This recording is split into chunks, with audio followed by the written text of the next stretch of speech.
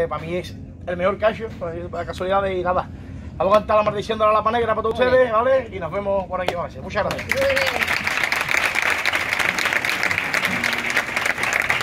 Bueno, bueno, bueno. Cuando terminemos esto, ustedes pueden decir también. Otra, otra. No irse, por favor. A ver, pero ya que salga de ustedes. Vamos, pero hacerlo, ¿eh?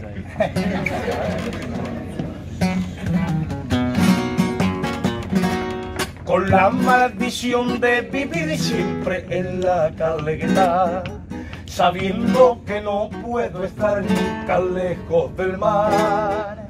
Le eché a la cosa y con cuatro letras, pa' sacarme una espinita, te vuelvo a cantar, que sí, que te vuelvo a cantar, que aunque yo aprendiera a nadar en este mar de Coca-Cola, ahora que veo que este mar se ha convertido en río, yo me siento tan extraño aquí, extranjero en mi propio país, en un concurso desconocido, en donde el sabor capitano o se ha olvidado o se ha perdido.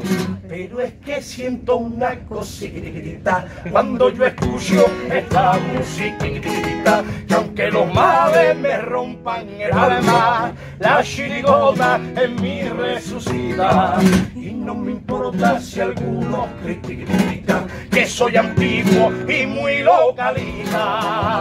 Si el público cambia y los gustos cambian, que me manden a hacer puñeta, que yo te seguiré cantando. en